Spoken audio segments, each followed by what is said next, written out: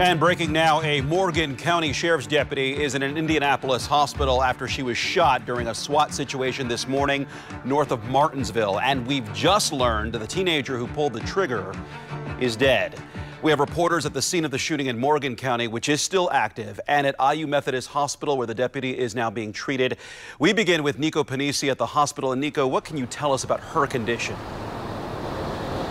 Right now, Deputy Mallory Schwab is alert, awake, and talking here at IU Methodist Hospital. That's according to the latest update we received from the Morgan County Sheriff's Office. The Sheriff's Office says Deputy Schwab was shot in the upper right shoulder while conducting a wellness check at around 7.30 this morning. The bullet went through her body. Morgan County Sheriff Richard Meyer says Schwab is a veteran law enforcement officer, but she's new to the department just starting this month. Beforehand, she was with the Martinsville Police Department for more than four years and is an Army reservist. Sheriff Meyer spoke to Deputy Schwab in the hospital. I did uh, talk to her before she left, and uh, uh, knowing Mallory, uh, she was sitting up in a lot of pain, uh, but I reached in to, kiss her and hug her. And she said, well, I can't tell you what she said, but she said, don't do that, Sheriff, it hurts. so where she was shot, but uh, she's good shape. We're, we're thankful.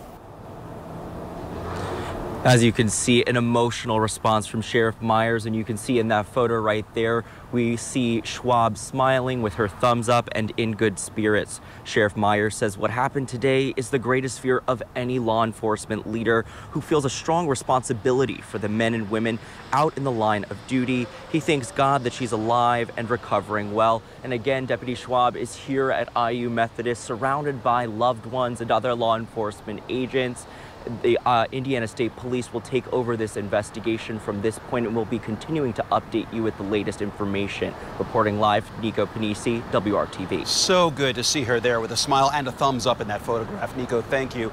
We now move to Morgan County where this happened. The shooting scene is in a rural area north of Martinsville. That's where WRTV's Adam Shooms continues our coverage. Adam. Yeah, Mark, good afternoon. Investigators just telling us moments ago that barricaded teen inside that home has been found dead. Now, for context, that home is near Robb Hill Road and Beech Grove Road in Morgan County. That's where deputies say Mar Mallory Schwab was shot earlier this morning. As we just heard from our Nico Panisi, Deputy Schwab is in good condition. Now, updates have been coming from the Johnson County Sheriffs as well as the Indiana State Police, who, who have been helping with the investigation since Morgan County Sheriff is at the hospital with his injured deputy. Now, let's get you the latest right now. Sheriff Duane Burgess says that that suspected teenage boy was found dead more than four hours after this all started. They said he was the only person inside the home. Investigators say this all began when a teenager called 911 after seeing posts on social media about a young man trying to harm himself at that home.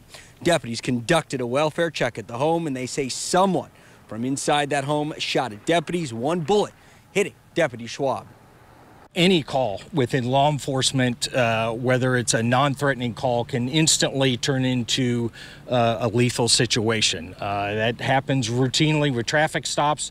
Uh, it also happens in this case uh, with welfare checks, which is what this was.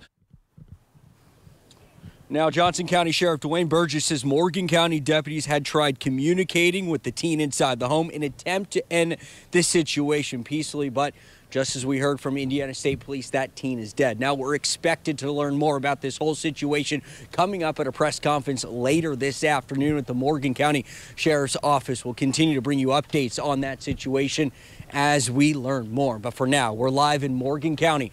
I'm Adam Shooms, WRTV. Mark? A Adam, thank you.